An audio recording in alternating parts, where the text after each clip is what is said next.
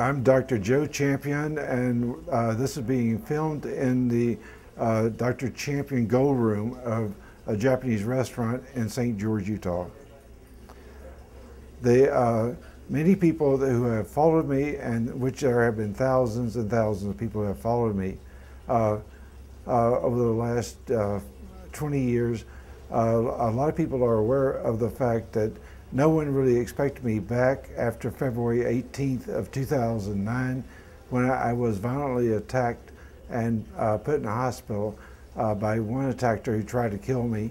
Uh, I did survive, as you can see. That's the only reason I'm talking right now. Uh, the, uh, but it, it, was a long struggle.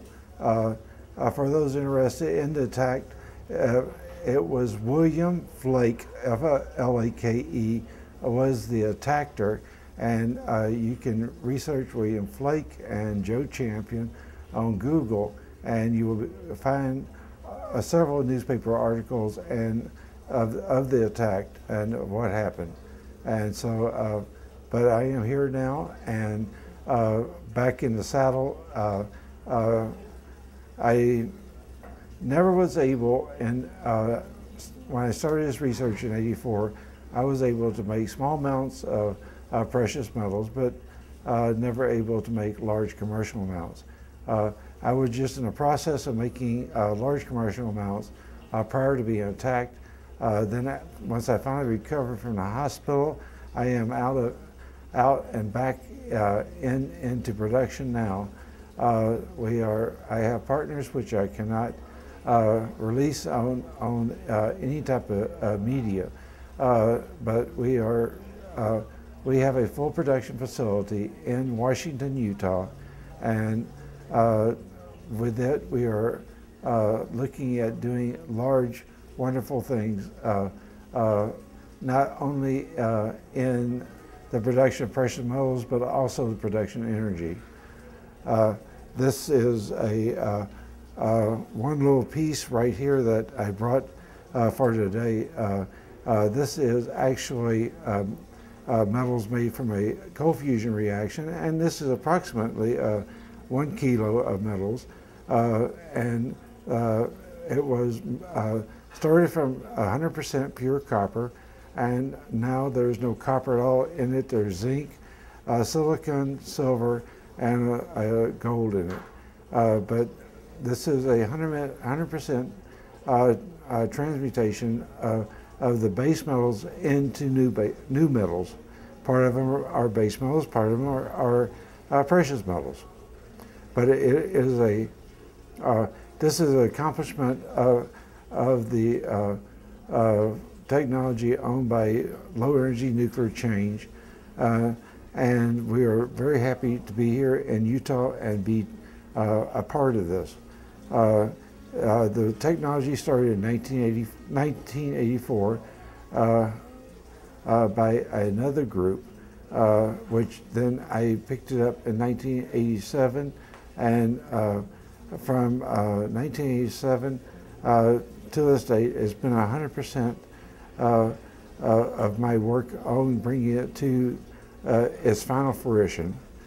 we do like what we're doing, and there's still ways to go, and uh, but the fact is that we can, and we do on a daily basis, turn copper uh, into silver and gold, uh, just like we take uh, uh, nickel and we turn nickel into uh, palladium and platinum. So it's not only it's not a gold process. This is, is a be able to change one element to uh, other elements, just like the way Mother Nature did it in the metals of our Earth. Uh, this we are actually only replicating exactly 100% replication of Mother Nature uh, over the process, but we are more specific because we only uh, uh, produce exactly what we want. We don't produce uh, uh, the entire planet. And we're able to produce these metals on uh, demand, and uh, it's just a lot of fun. And uh, low energy uh, nuclear change and cold fusion, alchemy, they're all the same. It's a change of one element to another. And uh, we're able to do this on small scales, uh, like taking uh, copper and uh, converting it to zinc, uh, copper and making silicon out of it, copper and making an infusion and making silver, and then taking that silver, putting it in a fusion and making gold. that's what we do uh, for uh, income. Uh, and so we are not creating something that hasn't been done by Mother Nature or something before. We're just doing it neater and faster and is very economical and there is not any problems with uh, uh, emissions, uh, radiation, or other things. So the uh, uh, the big problem uh, with precious metals, like when we go to sell our precious metals or go to a refinery, uh, uh, it becomes a question: Where did this metal come from in its original uh, condition? Uh, where do we find it? Where do we buy it from? Recycle it uh, uh, or mine it? No, we actually produced it. So I mean this can totally upset the apple cart of the financial uh, industry because now we can take base metals and, and eight dollars a pound copper and uh, uh, turn it into about uh, twenty thousand dollars of gold for one per pound.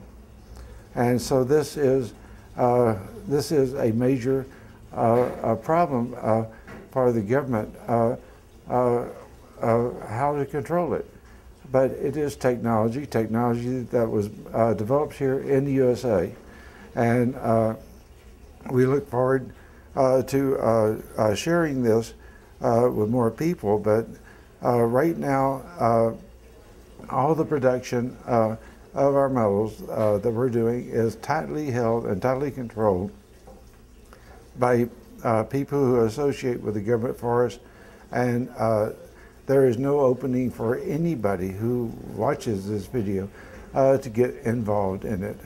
Uh, it's just not. It's just not possible. It is a fact uh, that the metals are are. Uh, some people would use the word term synthetic, but they're not synthetic. I mean, gold is gold no matter where you make it, and in our laboratory or you dig it from the ground, it's gold.